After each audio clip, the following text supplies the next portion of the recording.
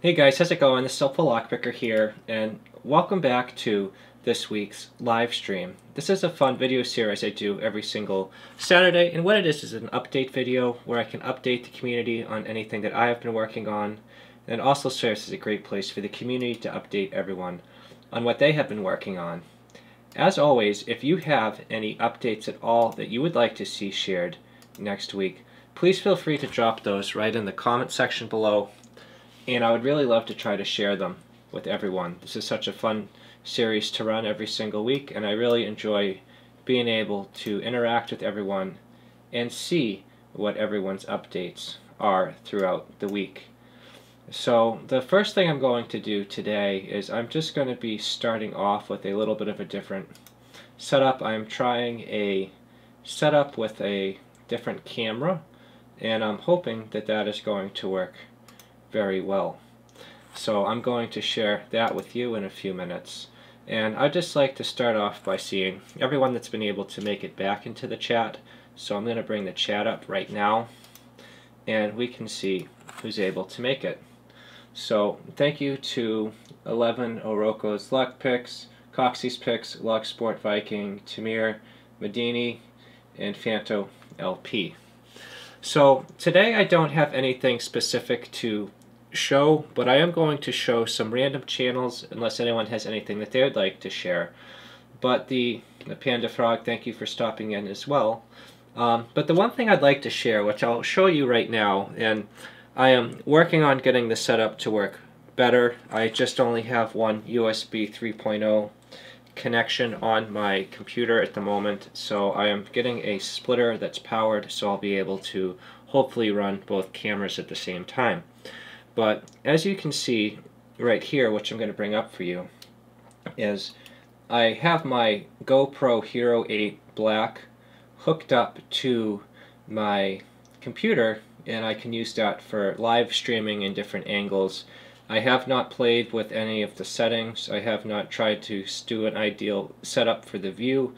No lighting, just sort of point and shoot and set it up just right before I did this and I thought this would be pretty cool. So I think this will be a fun thing to play with to be able to get some different angles for videos and also be able to better augment my live streams. So I'm going to bring up the chat right here and I was just wondering if anyone's interested and they would like to see a key cut today I could try to do that with this machine.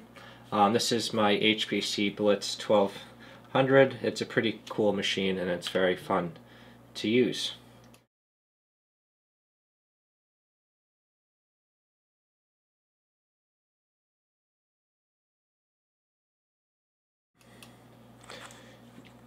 keys that they'd like to see cut, um, feel free to leave that right in the comment section and I'd be able to do that. Just running into a little technical issue for a second there.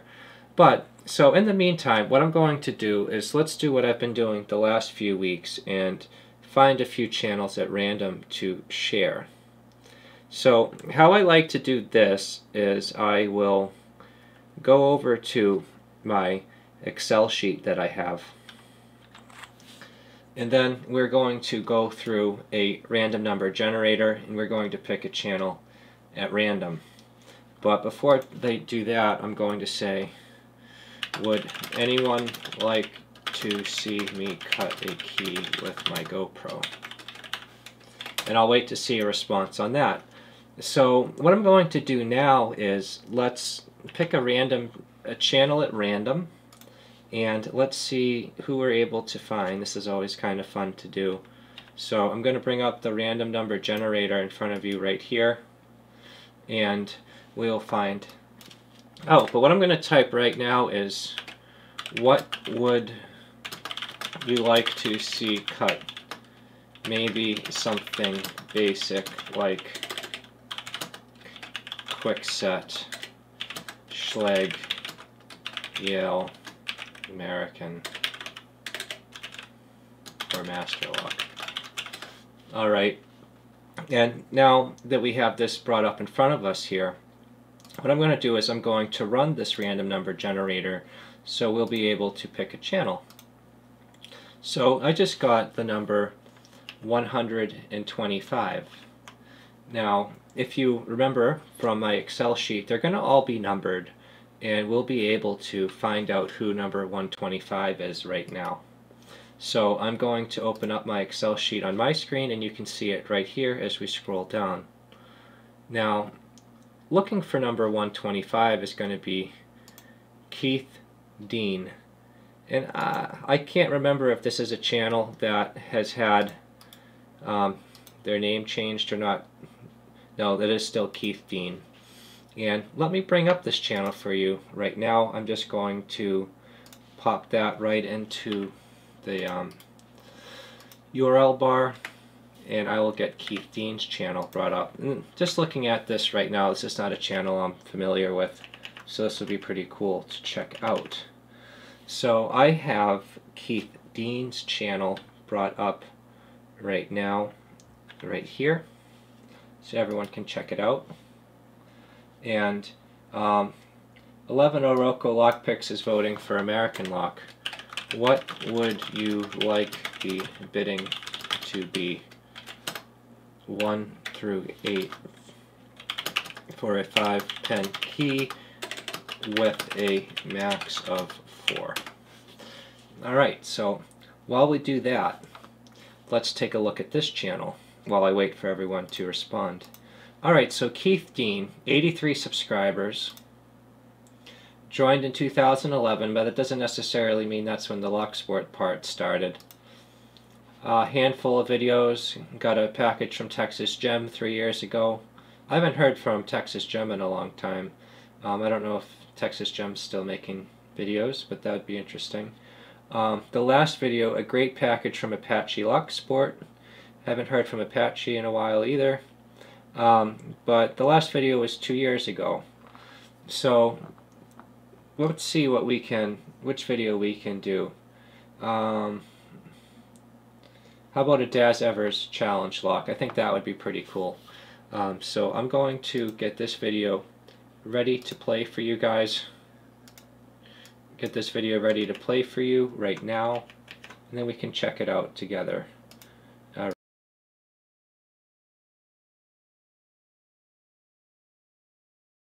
I've got a Daz Evers lock here. It's a uh, mortise cylinder. It's a Meco on the front. Y1 key. see that. I got this from a package from Bobby Keys a little while back. Thank you, Bobby Keys. I appreciate all the locks you sent and all the picks I got. I've been using them suckers pretty regular when I can. I Haven't been doing a whole lot of picking lately. This is actually my second attempt on this. I got two minutes into picking and ran out of memory, so deleted a few things on my phone and Hopefully I can get this video pretty quick before I run out again. Uh, I'm using a pry bar on the uh, top of the keyway, a Peterson pry bar, and this Bobby Keys pick right here. These picks have an amazing feel to them. Five.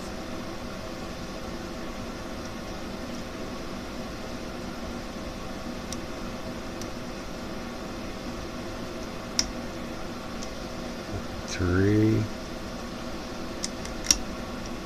Go on one and turn on the core. Let's move this a little. Kind of like to pick at about a 90 degree angle. It's a little more comfortable for my wrists. Haven't been putting out a whole lot of videos lately. I've been very busy.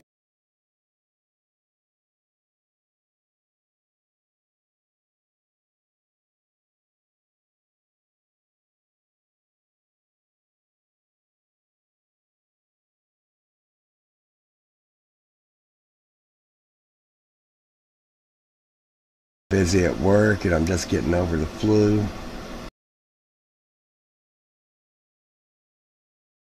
Alright, so that made my mouse disappear for a second there, but I think that that was a good little introduction to his channel, and I am now seeing that we were able to get a few suggestions up for the key. So let me um, bring up his channel one more time so we can just take a quick look at it and then we can cut that key. So I'm going to bring up Keath Dean one more time for everyone right here. So let's go over back to Keath Dean's channel. Now if you enjoyed what you saw and you'd like to show some support, it never hurts to hit the subscribe button. Subscribing may not help in this situation because he's not making videos, but it is a really nice thing to do to show your support to someone within the community. But what I'm going to do now is let's bring back the chat.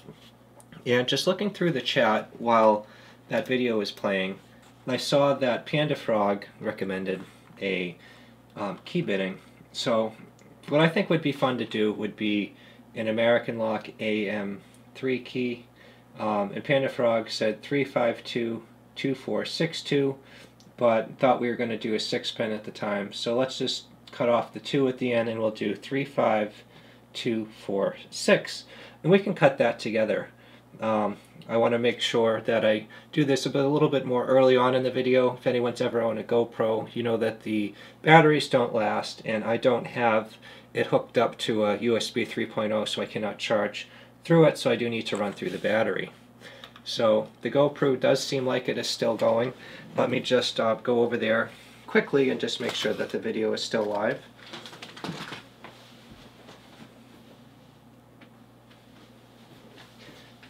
And it does appear to be working pretty well. So what I'm going to do is let's pick a another channel to look at and while the video is running I will get this all set up. So does anyone have a channel that they would like to recommend or would you like to do this at random? Let's see, does anyone and I'll give everyone a few minutes to think about that if they have a channel that they'd like to share or I could do it at random. But either way let's see.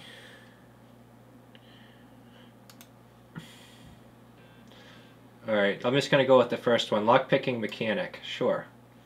Let's let me try to find lockpicking mechanic for you guys and I can let's see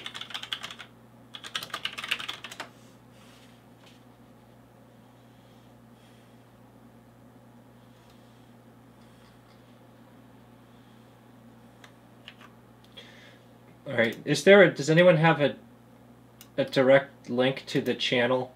The um just looking for lockpicking mechanic um isn't popping up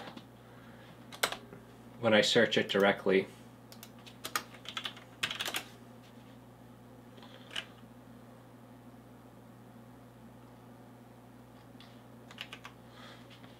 Let's see.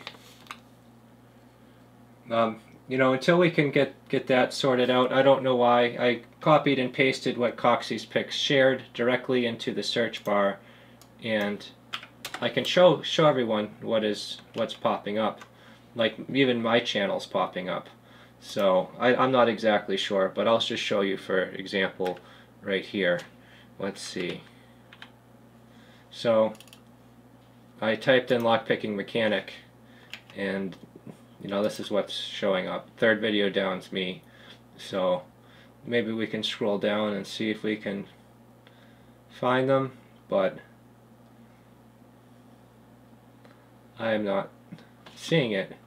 But this is a another example of why subscribing to channels and showing your support to everyone is very helpful because it helps you pop up higher in the search algorithm and it's an important thing to do to help the community thrive and help everyone's great content get out there. But what I'll do for now is let's just do another random one and we can kind of go from there. Um, let's see. Alright, so we're going to do the random number generator. It's 171 and 171 we will find out who that is right now.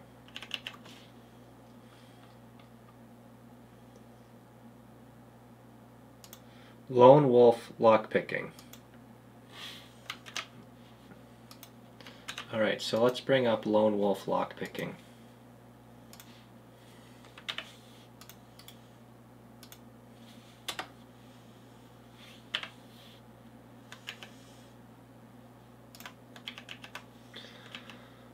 Hmm. Alright, so Lone Wolf lockpicking, I will bring that up for you right now.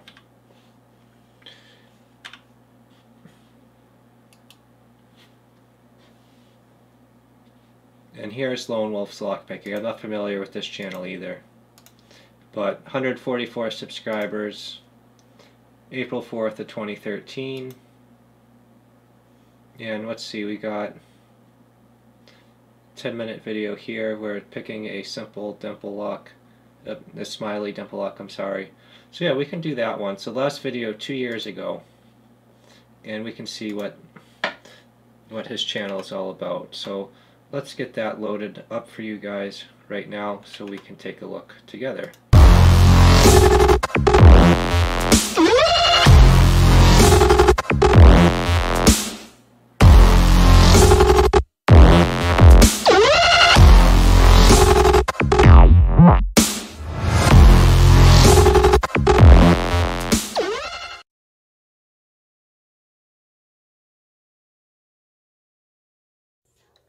Hey guys, how's it going? Lone Wolf Lockpicker here. Just wanted to jump on and make a uh, Stock Lock Sunday video. Now, I am cheating a little bit because this is a uh, just a cheap, I call it a smiley lock. I'm not sure the technical term for it. I'll show the bitting real quick.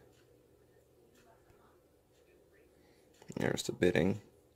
But I have put security pins, just standard uh, commercial security pin uh, spool and uh, serrated, I believe. It's been a while since I did it. But this would have been a very, very, very short video if I would have left the uh, cheap Chinese pins in it that was in it when I bought it. So we're going to go ahead and try to get this picked and then we will gut to see what I did put inside. Click on 3, once on 4, click on 5, click on 4, got a little movement.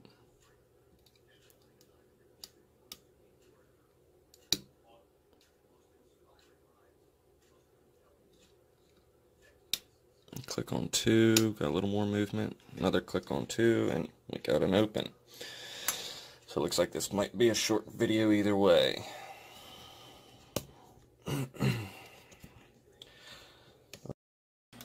Alright, well thanks for checking him out. And I think that was a pretty quick pick and that was pretty cool to share with everyone. So what I'm going to do is bring up Lone Wolf Lockpicking's channel for you one more time and then we can move on to cutting the key. So right in front of you here is Lone Wolf's Lockpicking. If you enjoyed what you saw, you'd like to show some support, might not be making videos right now as it looks, but subscribing never hurts and can be a really great thing. So what I'm going to do now is let's see who's still in the chat and then we can cut over to making that key. And I think that will be a pretty cool thing to do. So, let's see. My mouse is going a little bit crazy here for some reason. Hold on. Alright, so let's see. It's good to see Brian Field, Coxie's Picks, Roy R. Roy R. Panda Frog, Bears Back. So let's get that key cut. So what I'm going to do is I'm going to cut an American Lock AM3 key to 35246 as specified by Panda Frog. The audio is going to be coming from my camera, that my main camera from across the room. So it might not be super loud, but that's not extremely important. I'll bring the chat box up so we can have the chat up. And let's get to making that key. So I'm going to walk over right now.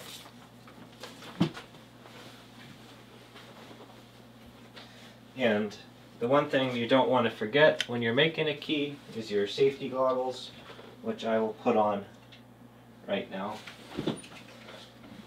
So it might be a little bit far away, but here's my generic American lock key.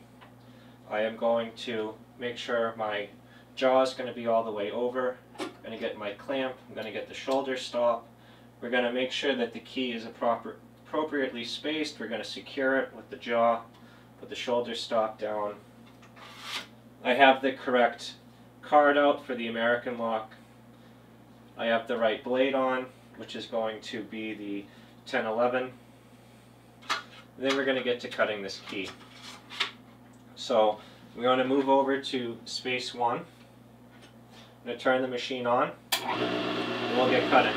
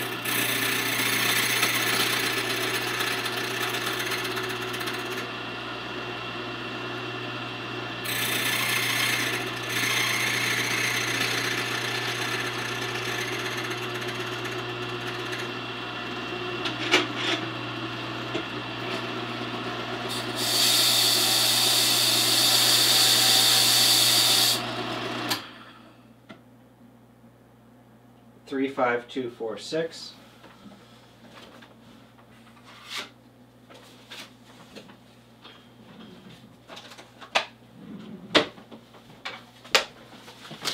All right, so we are back. Hopefully that looked all right. I'm going to cut back to our main video here, leave the chat up, and then we will take a look at this key. All right. All right, so here's the key that we just cut. 35246. Here's the code card.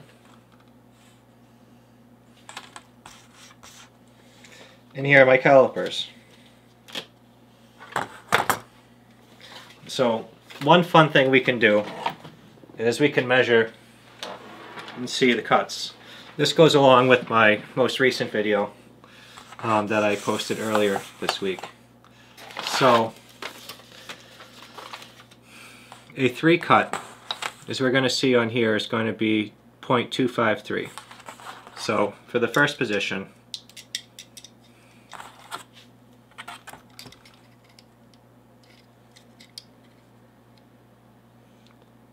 about 2.2540 all right? And then for the next one's going to be a 5.222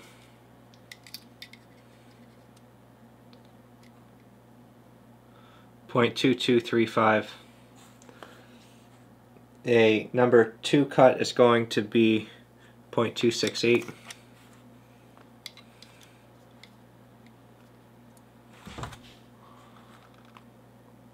0.2660 is what I'm getting. Then a number 4 cut is going to be 0.237.